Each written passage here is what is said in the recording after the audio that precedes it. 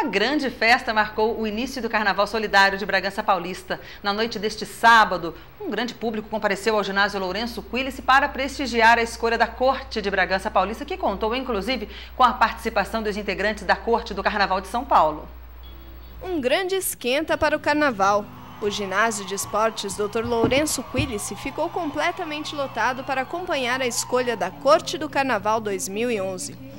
De acordo com o prefeito João Afonso Solis, a festa promovida mostra que o Carnaval 2011 será um sucesso. Se Deus quiser, espera um Carnaval seguro, um Carnaval família e, acima de tudo, um Carnaval solidário. Com tudo que nós passamos esse ano, graças a Deus, o Carnaval está em parceria com o município, a Liesb. Nós fazemos o melhor e atender a população de Bragança. E hoje foi uma noite que é apenas o começo que será o Carnaval desse ano. Uma homenagem a todos os sambistas fizeram a história, que ajudaram a construir o Carnaval de Bragança. A corte de 2010 também compareceu ao local para passar as faixas aos novos representantes e falaram um pouco sobre o que sentiram. Quem é rei nunca perde a coroa, essa é a verdade. A gente só passa a faixa. Ah, eu espero que o meu sucessor seja um cara que saiba representar a alegria, a harmonia, a união entre as escolas. E principalmente traga nessa coroa o peso da festa que é o Carnaval de Bragança Paulista. Isso, Aquela que foi eleita da Liga Independente das Escolas de Samba de Bragança Paulista. Eu vou passar a fase com muita alegria, muita felicidade. Nós nos acostumamos, conquistamos esse espaço. Acho que quem vier tem que merecer bastante. Acho que vai fazer por onde. E nós temos candidatas lá atrás, vocês não têm noção de como está lindo. Presente tão maravilhosa para elas como foi para nós. 11 candidatas disputavam a coroa de rainha, dois o de rei Momo e sete o cargo de sambista de ouro. As baterias das escolas de samba Águas Claras, Dragão Imperial, 9 de Julho e Acadêmicos da Vila se apresentaram. O grupo de jurados era formado por pessoas de respeito, a Corte do Carnaval 2011 da cidade de São Paulo, o rei Momo e a rainha falaram sobre as qualidades necessárias para conseguir a coroa. A gente tem que ter alegria, euforia, ser o completo fanfarrão. O rei Momo é isso. Ele é o dono do carnaval. Ele abre o carnaval, entendeu? Ele é o dono da festa. Tem que ser alegre. A principal coisa é alegre. Segredo, assim, tem que. Porque eu já tinha concorrido uma vez, foi a segunda vez que eu participei, então não consegui entrar na corte na primeira vez que eu concorri. E assim, eu acho que tem que crescer, assim, não desistir.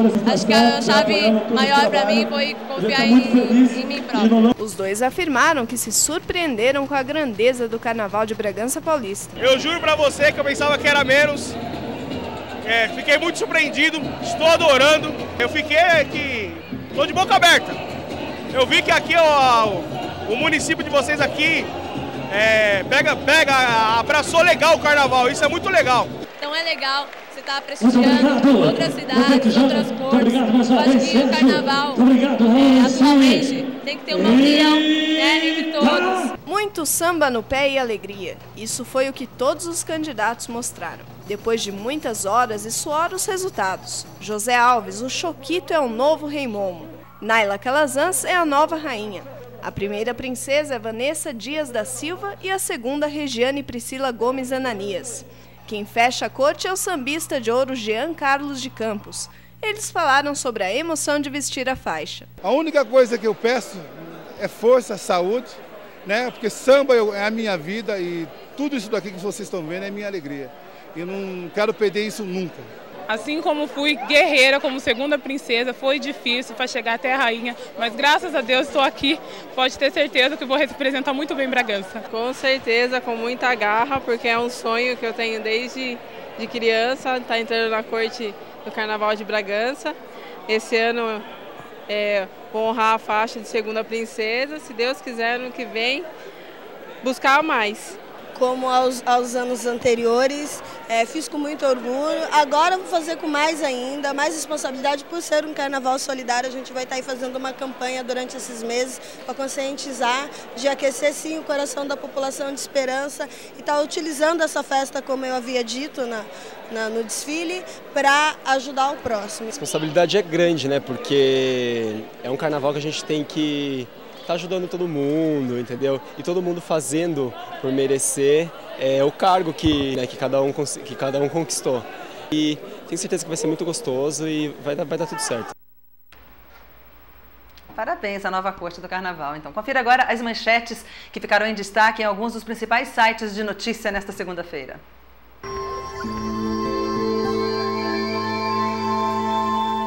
G1. Escolas de samba apontam perda de 8.400 fantasias. UOL. Liga não rebaixará ninguém, diz diretor de escola. Terra. Não há indício de incêndio criminoso, afirma delegado. Folha.com. Perda com incêndio na cidade do Samba pode chegar a 8 milhões de reais. JB Online. Faltou água, nada funcionou, diz diretor da Grande Rio. Estadão. Reunião vai definir regras para o carnaval. Bom, e um incêndio de grandes proporções destruiu barracões na cidade do Samba, na zona portuária do Rio de Janeiro, na manhã desta segunda-feira. O Corpo de Bombeiros informou que 15 carros de 7 quartéis e 70 homens foram enviados ao local. Os barracões atingidos são os da Liga Independente das Escolas de Samba, da Liesa, da Portela, da União da Ilha do Governador e da Grande Rio. O presidente da Liesa, Jorge Castanheira, disse nesta manhã que o principal objetivo da Liga é ajudar a reconstruir o desfile das escolas prejudicadas prejudicadas pelo fogo e afirmou ainda que nenhuma escola vai ficar de fora dos desfiles por conta dos prejuízos. O incêndio começou por volta das 7 horas da manhã, ainda sem causa definida. A nuvem de fumaça escura e espessa podia ser vista de longe. Dos quatro barracões atingidos, os esforços dos bombeiros eram concentrados no da Grande Rio, a escola mais atingida pelas chamas. No barracão da Grande Rio, a parte de cima já tinha começado a ceder e uma parte da parede lateral caiu. A equipe ficou em alerta para novos desabamentos. O barracão da Escola de Samba Portela também foi muito prejudicado. A Companhia de Engenharia de Tráfego do Rio informou que a rua Arlindo Rodrigues, que fica próxima à região, foi interditada. No aeroporto Santos Dumont, a Infraero diz que a movimentação de aeronaves é normal. Segundo relações públicas do Corpo de Bombeiros, o incêndio foi controlado pouco antes das 11 da manhã desta segunda. As equipes continuaram o trabalho de rescaldo durante a tarde. O prefeito Eduardo Paes sugeriu que o carnaval deste ano não desclassifique nenhuma agremiação do grupo especial. Bom, depois do intervalo tem os assuntos que serão discutidos na segunda sessão ordinária do ano na Câmara dos Vereadores de Bragança. E você confere também como fica o tempo nesta terça-feira. Em instantes, até já.